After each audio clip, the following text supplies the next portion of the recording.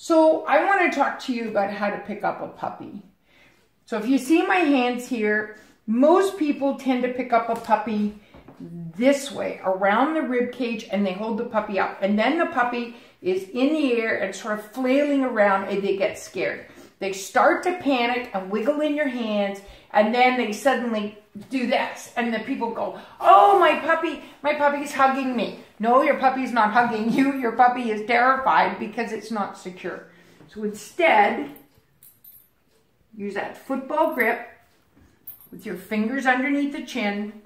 Bring them against your body. And now you, this hand's free. And even better, I tuck my finger through the collar underneath the chin.